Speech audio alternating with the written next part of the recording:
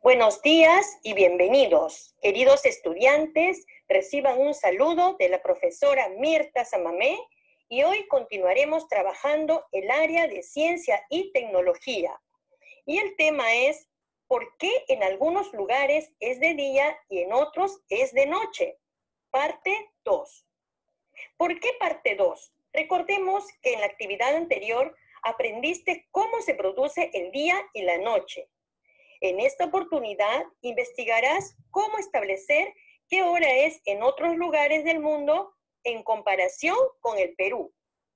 Y los recursos para esta actividad son ficha qué hora es en, disponible en la sección de recursos de la plataforma Aprendo en casa o debajo de este video.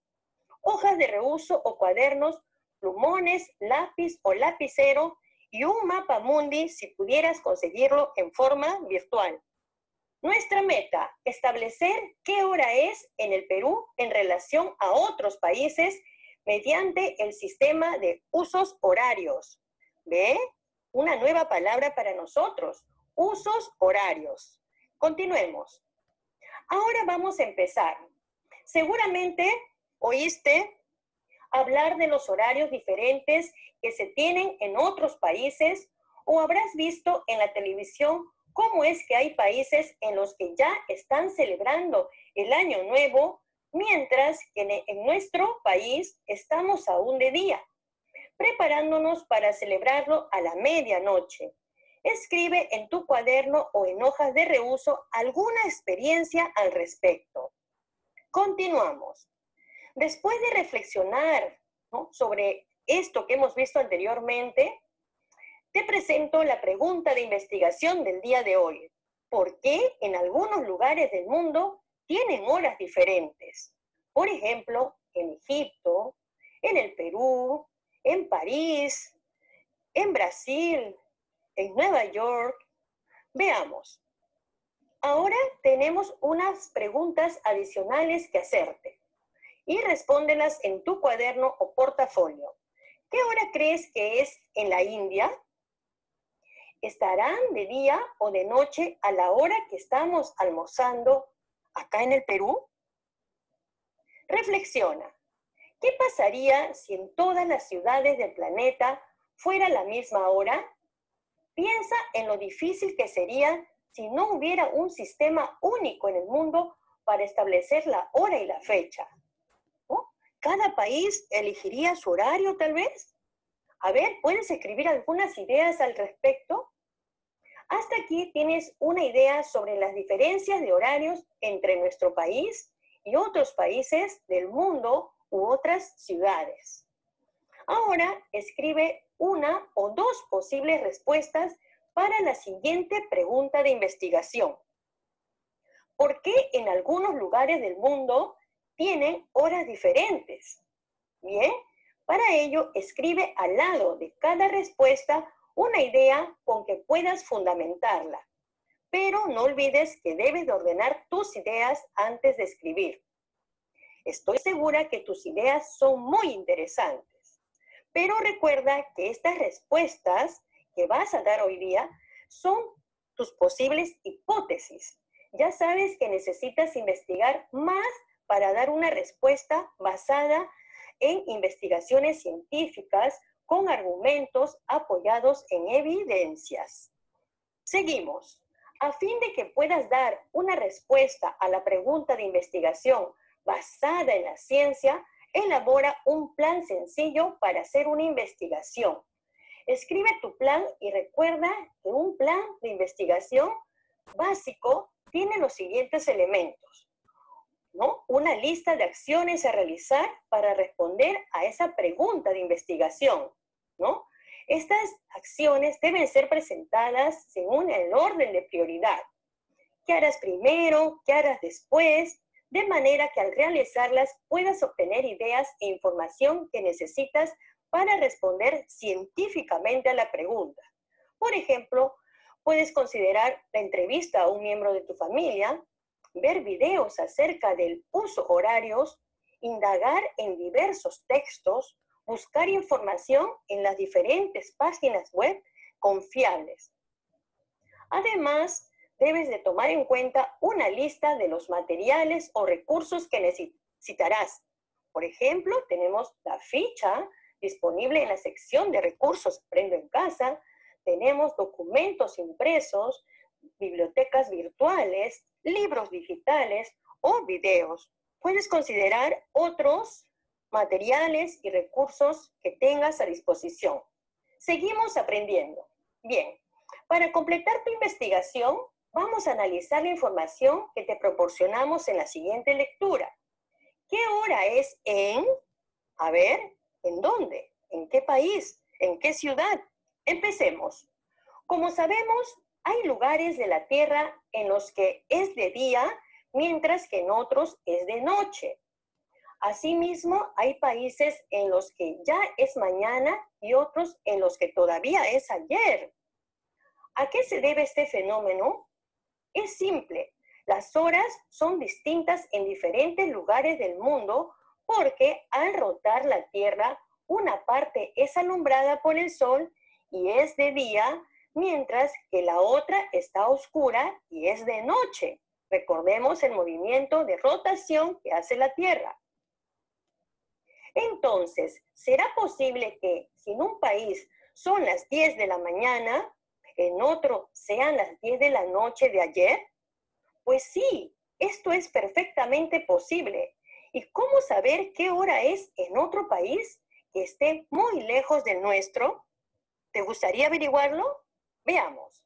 Para saberlo, el ingeniero escocés canadiense Sansford Fleming, a finales del siglo XIX, ayudó a crear un sistema que nos permite saber con precisión qué hora es en cualquier lugar del mundo.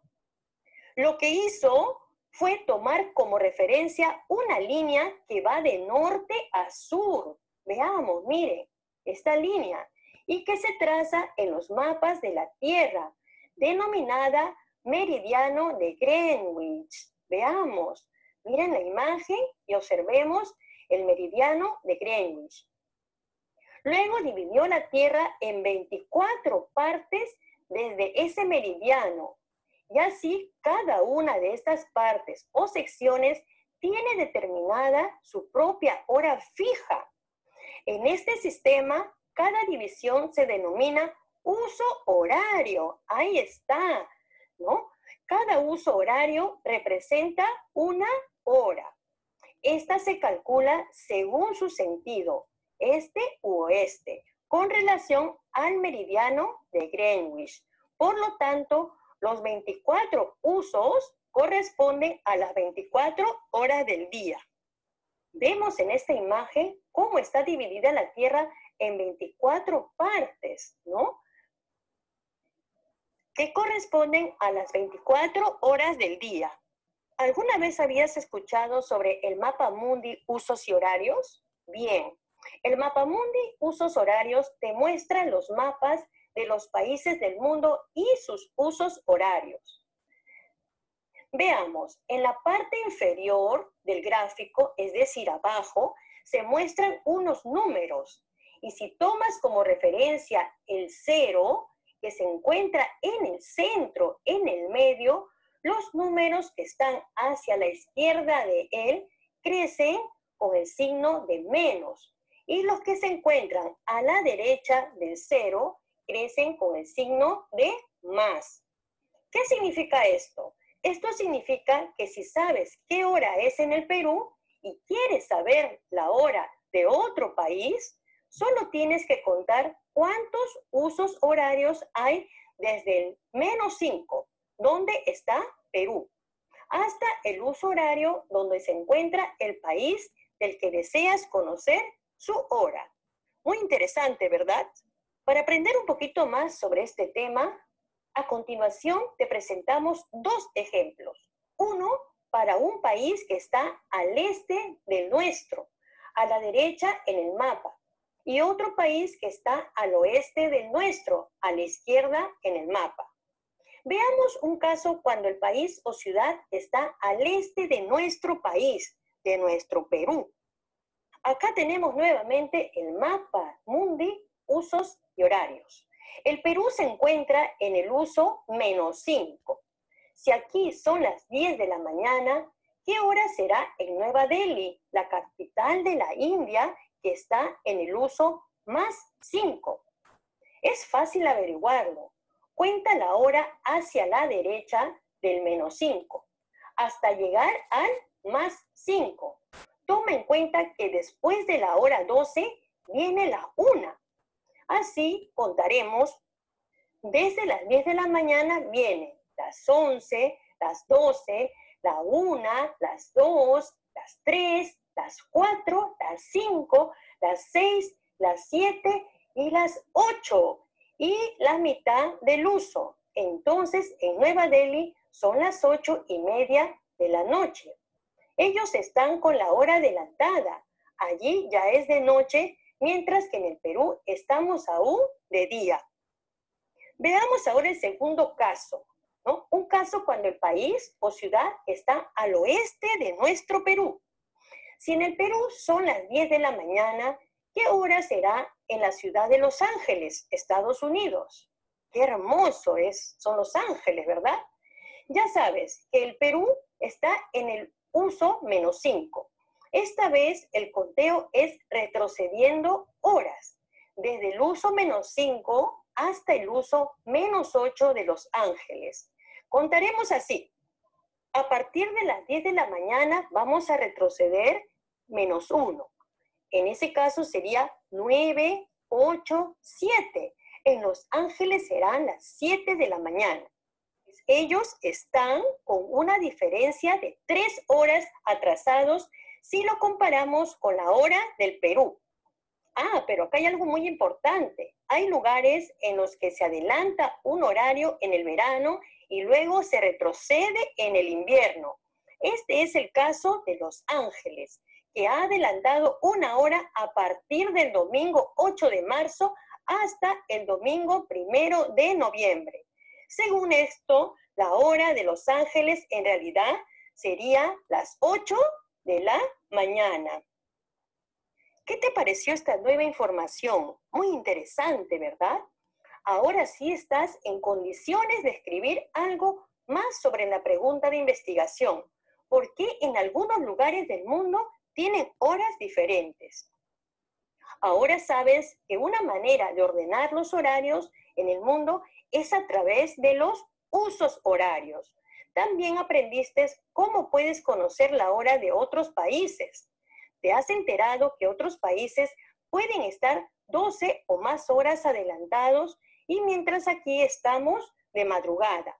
Ellos pueden estar almorzando tal vez, ¿no? Con toda esta información que has leído y los ejercicios que te hemos proporcionado, ya estás en condiciones de responder la pregunta de investigación.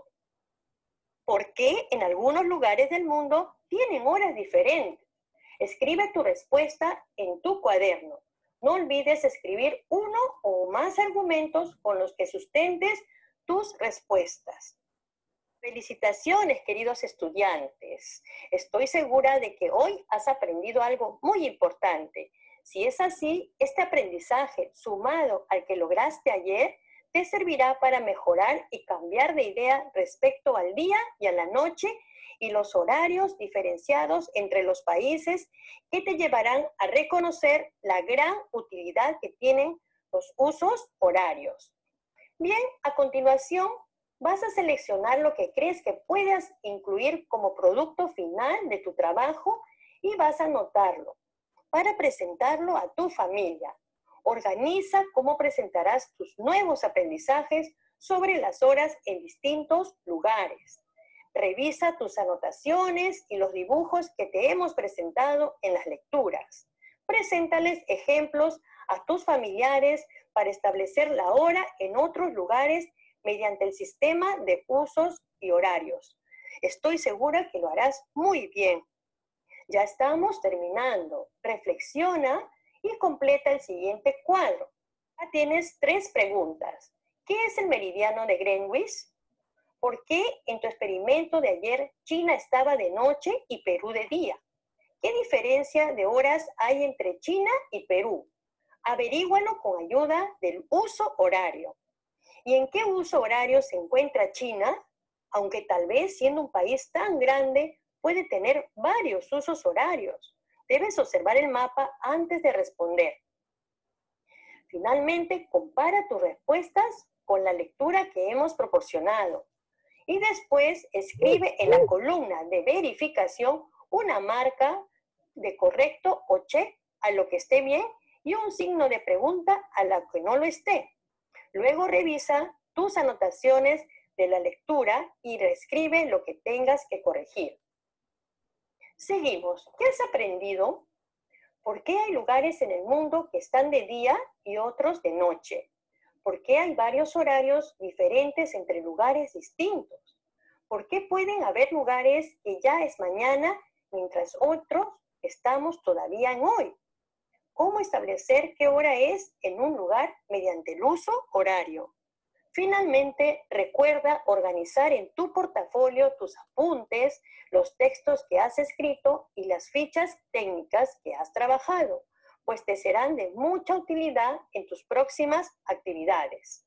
Al revisarlos podrás evaluar tus logros y las dificultades que tuviste y cómo las resolviste o puedes resolverlas si elaboras un plan sencillo para ello. Me dio mucho gusto apoyarte en esta nueva actividad éxitos.